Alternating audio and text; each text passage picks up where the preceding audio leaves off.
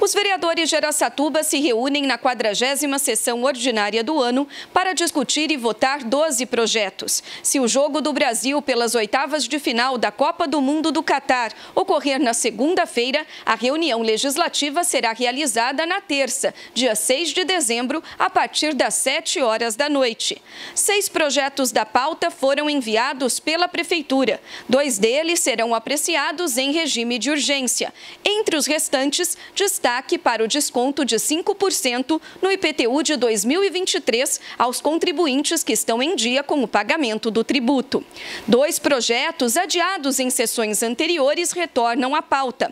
Trata-se de matéria do vereador Gilberto Batata Mantovani sobre a instalação de parklets, como são denominadas as extensões de calçadas, e matéria do vereador Wesley da Dialogue, que facilita o pagamento dos tributos municipais. Três projetos de decreto decreto legislativo concedem títulos de cidadão araçatubense. E a mesa diretora da casa assina a matéria que concede reajuste salarial de 6,47% aos servidores do Poder Legislativo.